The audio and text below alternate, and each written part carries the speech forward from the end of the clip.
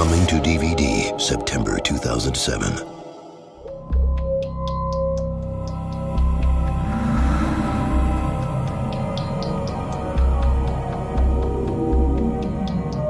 From William Friedkin We've been finding parts of bodies floating in the river. comes a psychological thriller Why don't we take a walk? starring Academy Award winner Al Pacino. How'd you like to disappear? Go undercover. Disappear. The victim was in about 10 pieces. He's a bad dude. He's a scumbag.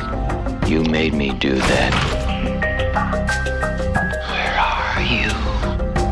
Things happening to me, you know? A controversial and landmark film. Why don't you want me anymore? What I'm doing is affecting me. about a New York subculture being terrorized by one of its own. There's just stuff going down. You know what you have to do. Now I'm afraid.